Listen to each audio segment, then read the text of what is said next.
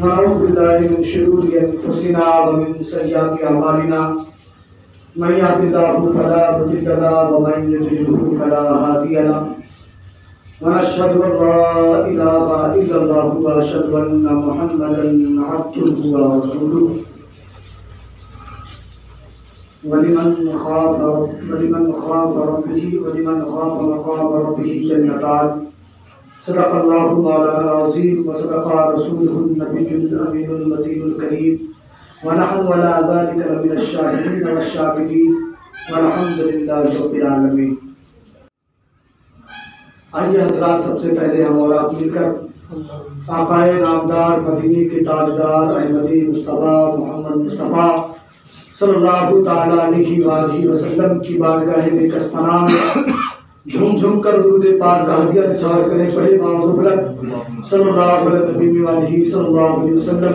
सलातुन व सलामुन अलैका या सय्यदी या रसूलल्लाह सल्लल्लाहु ताला अलैहि वसल्लम। आज का हमारा अनुमान है कि अपने रब को, अल्लाह तबारक व तआला को किस तरीके से राज़ी करें हम कौन सा काम करें कि मेरा रब, मेरा मालिक, मेरा पालनहार वो मुझसे राज़ी हो जाए, वो मुझसे खुश हो जाए। और जब वो मुझसे खुश हो जाएगा तो मेरी नजात का ज़रिया बन जाएगा। मेरे लिए नजात का ज़रिया बन जाएगा। तो अल्लाह तबारक ने कुरान मजीद में इरशाद फरमाया, जो आयत करीमा मैंने पढ़ी, उसका तर्जुमा ये हुआ कि जो शख्स अपने रब की हुजूर, यानी अल्लाह रब्बुल इज़्ज़त की बारगाह में खड़ा होने से खड़ा होने से डर जाए, उस पर कैफियत तारी हो जाए खौफ तारी हो जाए कि मैं रब की बारगाह में कैसे खड़ा रहूँगा। अगर ये पोजीशन ये हालत उसके दिल में, उसकी कैफियत ये हो जाए तो मकाम रब ही जन्नतान। तो उस शख्स के लिए अल्लाह रब्बुल इज़्ज़त फरमाता है कि दो जन्नतें हैं। उसके लिए दो जन्नतें जो लोग अपने रब के हुजूर खौफ खा जाएँ तो उनके लिए दो जन्नतें हैं। अब उनके लिए इनामात दिए गए दो जन्नतों का ज़िक्र किया गया। तो मेरे महबूब आकाए नामदार मदीनी के ताजदार, अहमदी मुस्तफ़ा सल्लल्लाहु अलैहि वसल्लम फरमाते हैं, ये सही मुस्लिम की हदीस है। सही मुस्लिम शरीफ की हदीस मुबारक। इसके रावी अब्दुल्ला इब्न उमर रज़ी अल्लाह तआला मेरे महबूब फरमाते कि तीन शख्स थे, तीन शख्स थे। वो जा रहे थे, सफ़र तय कर रहे थे, जा रहे थे। अब जब वो कुछ दूर जब चले तो उन्हें गार दिखा। बहुत पुराना एक गार दिखा। जब गार को उन्होंने देखा, एक पहाड़ को देखा तो उन्होंने जब बादल के आसमान की तरफ़ अपनी निगाहों को जब किया तो उनको यह महसूस हुआ कि अभी बारिश होने वाली है। अभी बारिश होने वाली है। तो उनके जहन में एक सवाल हुआ कि चलो, इस गार के अंदर बैठ जाते हैं ताकि बारिश से हम बच जाएँगे, महफूज हो जाएँगे। मेरी तबीयत नहीं खराब होगी। जब इस चीज़ को उनके जहन में जब ये सारी बातें पैदा हुई तो उस गार के अंदर चले गए। और ही गार के अंदर तीनों शख्स चले जाते हैं तो आज उसी पहाड़ के ऊपर जो बड़ा चट्टान था, वो चट्टान गिरा, उस गार के मुँह पर आके रुक गया। उस गार के मुँह पर आके रुक गया। और जब रुका तो पूरा जो रास्ता था अंदर आने जाने का, पूरा रास्ता बंद हो गया। कहीं से रोशनी दिखाई नहीं दे रही थी, बाहर नहीं दिखाई दे रहा था कि बाहर कौन है, क्या है, क्या नहीं है। तो उन्होंने ये सोचा कि हम यहाँ से बच के बाहर नहीं जा पाएँगे। इसलिए कितना बड़ा पत्थर इसे कौन हटा पाएगा? अब ये लोग रोने लगे, ये तीन शख्स जो थे रोने लगे। जब इनकी आँखें बेदार हुई, जब रोने लगे, तब इनके जहन में एक सवाल पैदा हुआ। सवाल ये पैदा हुआ कि चलो, अल्लाह को राज़ी किया जाए, अपने रब को राज़ी कर लिया जाए। अब राज़ी किस तरीके से किया जाए? मेरे महबूब ने वो अदाएँ भी बता दी। किस तरीके से मेरा रब राज़ी होगा? मेरा रब किन चीज़ों से राज़ी होगा? ये भी मेरे महबूब ने बताया था। अब उस शख्स ने फ़ौरन जो पहला शख्स था, उसने सोचना शुरू किया। कि उसने सोचा, उसने ये कहा, अल्लाह रब्बुल इज़्ज़त की बारगाह में हाथ को उठाया और हाथ उठाने के बाद ये कहे, पाक परवरदिगार, मैं बहुत गुनहगार हूँ, मैं सियाकार हूँ अलबत्ता मैंने एक नेकी ज़रूर की थी। वो नेकी ये थी कि मेरे पास बकरियाँ बहुत थी। मेरे पास बकरियाँ बहुत थी। और मैं परिवार वाला था, मेरे बच्चे थे, मेरी बीवियाँ थी, और मेरे वालदैन भी थे, जो बुज़ुर्ग हो चुके थे, जो जईफ हो चुके थे, जो नागर हो चुके थे, वो थे। मगर जब उन बकरियों का दूध जब मैं निकालता था तो मैं सबसे पहले दूध अपनी माँ को दिया करता था, अपने वालदैन को दिया करता था। उसके बाद मैं अपने बच्चों को दिया करता था। एक मरतबा ऐसा हुआ कि वो शख्स जब जंगल में गया, लकड़ी लेने के लिए गया तो रात ज़्यादा हो गई, रात ज़्यादा हो गई, तारीख हो गई। जब वो आया, घर वापस आया तो उसने क्या देखा कि उसके वालदेन जो थे, जो सही हो चुके थे, जो कमज़ोर थे, वो सो चुके थे। अब उसने बकरी के दूध को निकाला। निकालने के बाद उसके बच्चे, उसकी बीवियाँ सब उसके इर्द गिर्द टहल रही थी, घूम रही थी कि दूध मुझे पिला दो, पहले मेरे बच्चे को पिला दो। तो उसने कहा, नहीं, मैं पहला दूध अपनी वालदाइन को पिलाऊँगा। इसलिए कि जब मैं उन्हें पिलाऊँगा तो मुझे दिल से दुआ देंगी, उसके बाद तुम लोग खाना, ये सारी चीज़ें तुम्हारे लिए। अल्लाह अकबर। तो जब उसकी वालदेन जब सो गए, जब सो गई थी, तब आप वो शख्स जो था, वो रात भर जागता रहा। उसी आस में, उसी उसी हालत उसी कैफियत में कि अब बेदार हो तो पिलाया जाए, अब बेदार हो तो पिलाया जाए। सुबह शादी हो गई। जैसी उनकी आँखें बेदार हुई, जैसी वो खुले तो सबसे पहला दूध का कटोरा उनकी बालिका में पेश कर दी। जब उन्होंने पिया तो उन्होंने दिल से दुआ दी। उन्होंने दिल से दुआ दी। तो उस शख्स ने कहा, अल्लाह, अगर तुझे ये अदा प्यारी लगी हो, अगर ये मेरी, ये नेक जो मेरे नेकी की है, मेरे तेरी बारगाह में कबूल हो गई हो तो उसके सदके से मेरे लिए रास्ते को आसान फरमा दे। इतना जुमला कहना था, इतना जुमला कहना था कि वो दार जो था, जो पहाड़ था, वो हल्का से हट गया। हल्का से हटा, जैसी वो हिला तो आसमान से कुछ रोशनियाँ अंदर आने लगी। कुछ रोशनियाँ अंदर आने लगी। अल्लाह अकबर। फिर दूसरा जो शख्स था, फिर उसने अपनी नेकियों को याद किया कि हमने कौन सी नेकिया की हमने कौन सी ने क्या की है?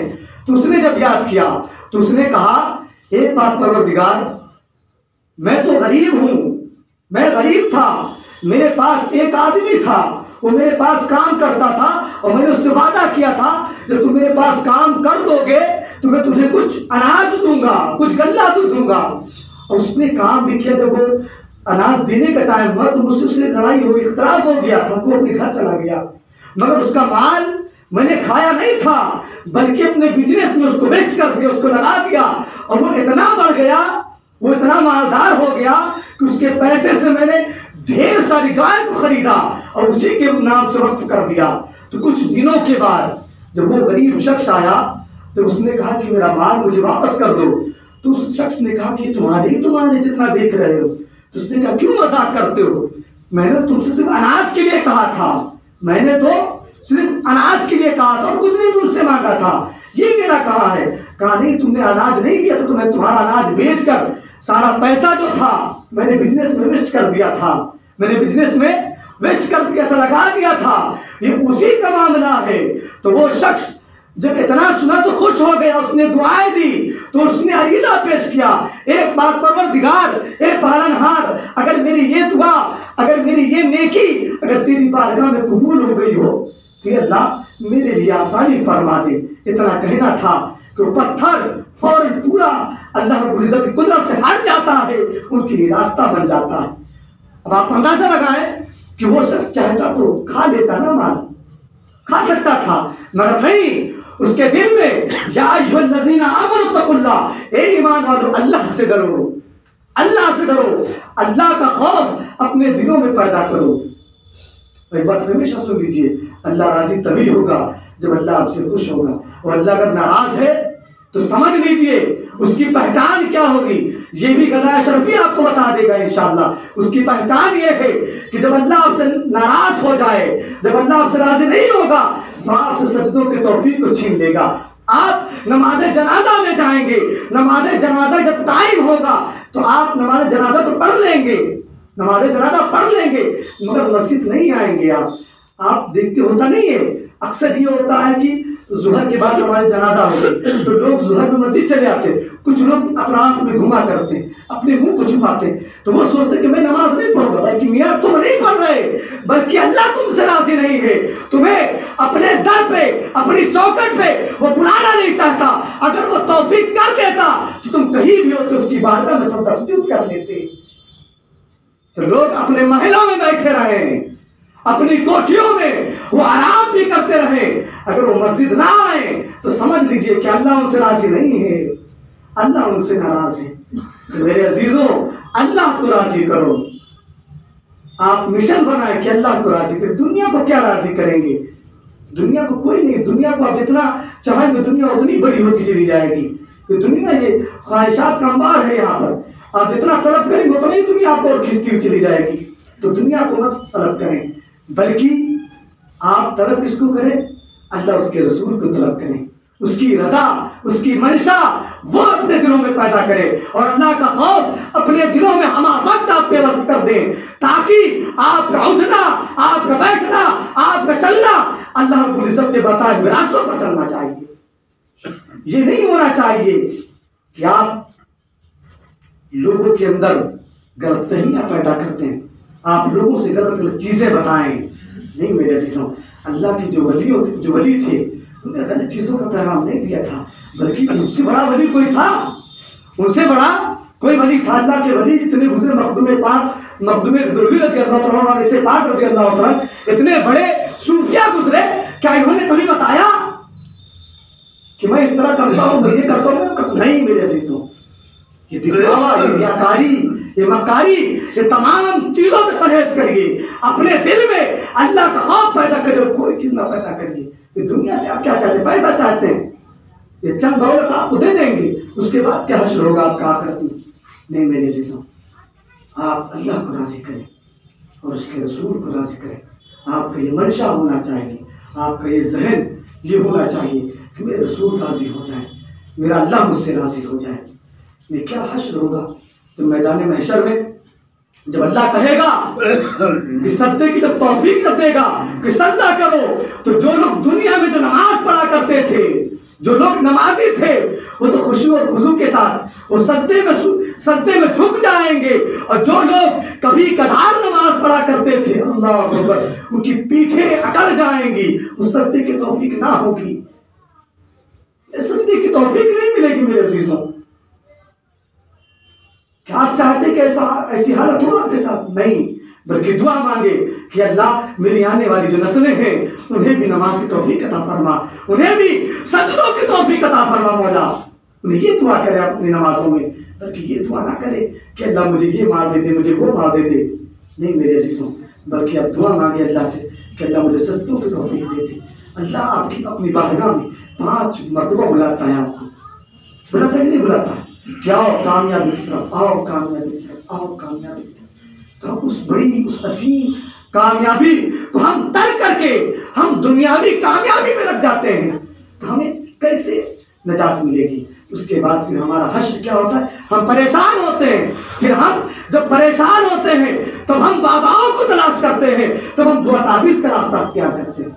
तो लिहाजा अगर हम नमाजों से अगर अपना रिश्ता कायम कर लें अलहमदुल्ला मैं भी खान का वाला हूँ। मैं भी ताबीज देता हूँ, ऐसा नहीं है कि मैं किसी की मुखालफत मैं भी ताबीज देता हूँ अलहमदुल्ला और मुझसे बड़ी ताबीज कौन देगा?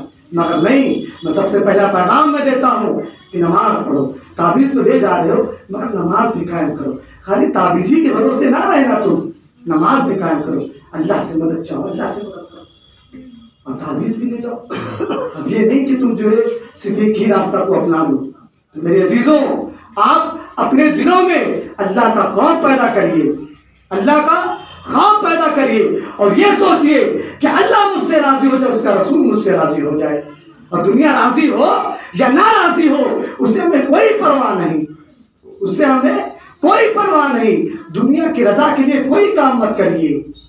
दुनिया की दिखावटी के लिए कोई काम मत करिए। आप नमाज़ पढ़िए तो खालिश अल्लाह के लिए पढ़िए।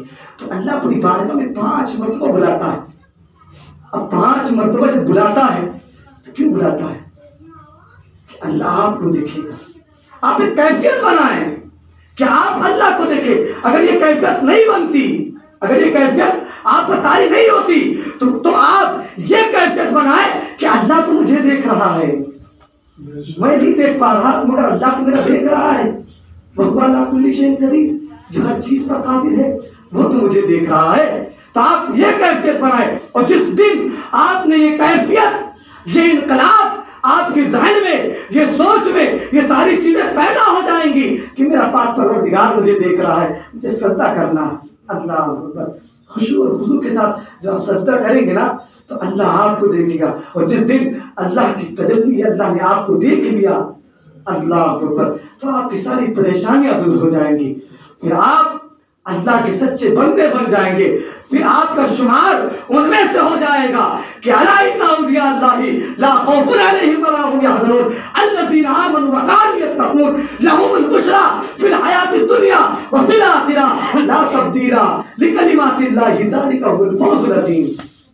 उनमें से शुमार होने लगेंगे फिर आप। अल्लाह के वली कैसे बने इसी तो बने। अल्लाह को राज़ी करके बने, अल्लाह के रसूल को राज़ी करके बने।